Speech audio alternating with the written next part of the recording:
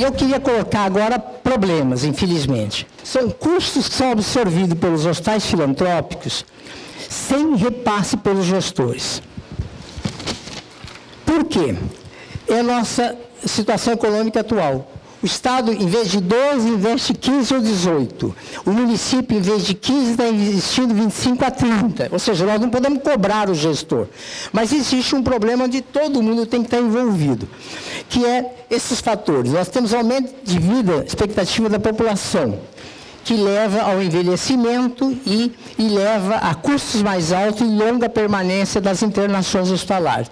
A queda da atividade econômica, desemprego, além da insegurança, é, leva um problema da perda do plano de saúde que as empresas têm. Nós estávamos comentando da perda de 2 milhões de beneficiários saídos dos planos de saúde. E esses beneficiários estão acostumados a ter, usar o, não o serviço público, ele usa o serviço diferenciado. Como nós somos a maior rede do Brasil, ele vai usar os hospitais filantrópicos. Ele já está acostumado a usar. E ele vai usar pelo SUS esse, esses, esse aumento de demanda não está prefixado nos nossos cálculos. Quer dizer, então nós não temos renda para isso. E vamos ter que cobrar do. Se o falou que a lei me obriga, eu já faço. Nós não temos recursos adicionais. Então, este é um problema sério que o, a maioria, nós começamos a se preocupar realmente em função dessa nova realidade. Ninguém esperava a, a situação econômica atual. Estamos trabalhando todo mundo, inclusive vocês, para reverter isso. O aumento da violência doméstica, o desemprego leva também ao aumento da violência doméstica e álcool e droga está dando uma procura maior pelos serviços com um custo mais alto desse, desse valor da IH. A gente tem um valor médio da IH, vamos por 200, 300, 500 reais. E, e, o custo desses procedimentos são muito mais altos. Aumento de acidentes de trânsito e de trabalho. Esse tem sido realmente um grande problema. A violência hoje é ilimitado, acidentes de carros. Eh, o que, que acontece? Você procura o hospital. São trabalhos de urgência e emergência, é UTI. As UTI estão todas lotadas hoje, se precisa mais vaga, porque estão ocupadas por acidentes. E isso não está precificado no contrato com os gestores para os hospitais. Então, são prejuízos que você acaba bancando.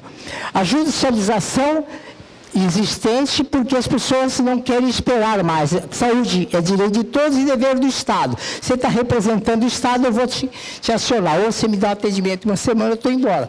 Por quê?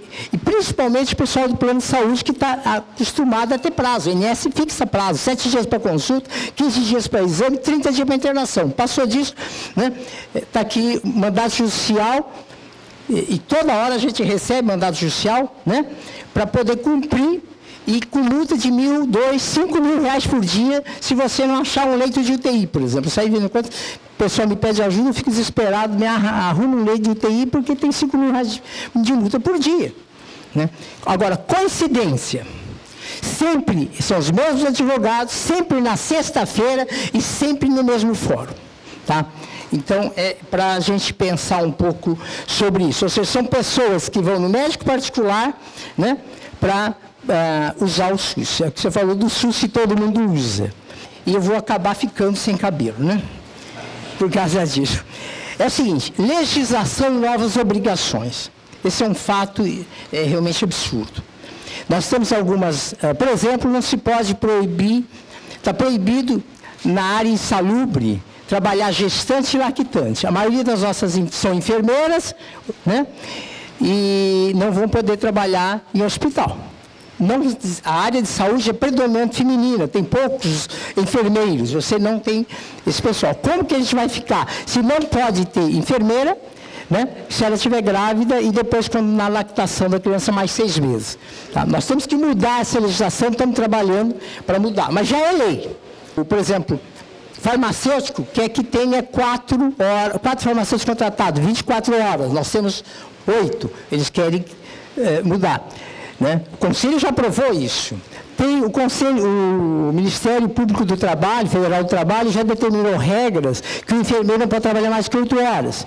E não e a gente faz regime de 11 por 36, 12 por 36, 11 por 24, ou seja, você faz escalas de plantão, nós temos que dobrar o quadro. Então, são essas situações né, que são complicadas. Então, é por isso que nós pegamos com afinco o projeto de associativismo. Quer dizer, nós não podemos depender só do SUS.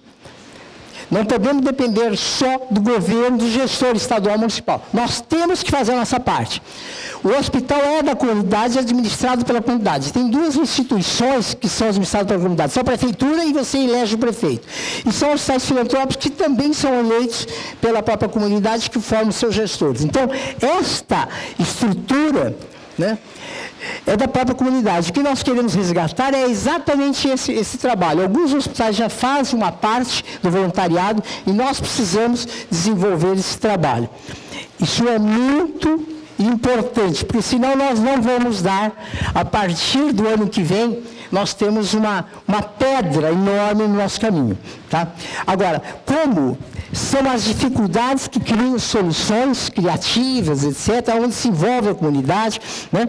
Então, é esse o nosso apelo que fala convencer vocês, envolver vocês num trabalho de envolvimento com seus hospitais, com os nossos hospitais, porque nós não vamos ter condições, estamos trabalhando para mudar essa realidade.